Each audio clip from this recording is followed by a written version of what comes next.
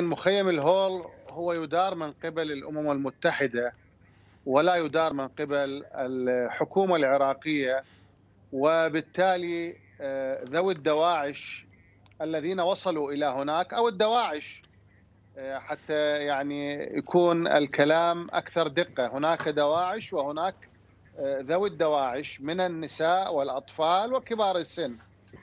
اليوم في إذا ما كانت الحكومة تريد أن تقوم بواجبها تجاه هؤلاء فبالتالي يجب أن يكون هناك برنامج أمني اجتماعي سياسي ويجب أن تشرك به آه، العشائر والمجتمع. اليوم آه، يعني ذوي الدواعش من النساء والأطفال إذا ما كانت هناك هناك نية من الحكومة لدمجهم بالمجتمع فيجب على ذويهم من اقربائهم أن يذهبوا لاستلامهم.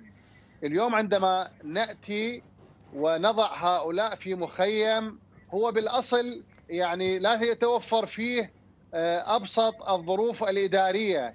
يعني عندما كان النازحين متواجدين في آه، المخيمات كانوا يعانون من آه، يعني سوء آه، الأمور الإدارية. وبالتالي هذا الأمر انعكس على سلوكيات وأخلاق من هم في المخيم. وانتشرت الجرائم والمخدرات وكثير من الأمور وال يعني اللا أخلاقية. لذلك اليوم عندما نأتي بأشخاص هم صنفوا مسبقا بأنهم دواعش. اليوم يعني حتى لو أنت جنابك تقول قسم بهم مو دواعش وأنا أقول مو دواعش ولكن النظرة على آه، من يتواجد في مخيم الهول هم دواعش. هذا الأمر لا يستطيع أحد أن آه، يغيره.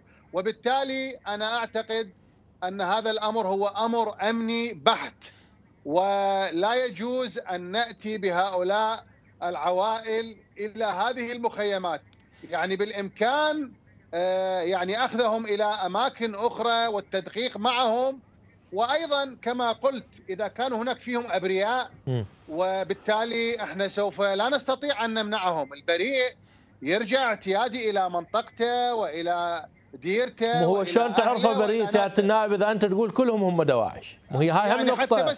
مو هي هاي هم واحد أجاوبك إيه؟ أجاوبك أجاوبك زين. أجاوبك. زين خليني أستأذنك ممكن أستأذنك خليني خليني أسمع. سيد جاسم؟ خليني أوضح تفضل طيب تفضل جاوب تفضل جاوب سيدنا. بس أوضح.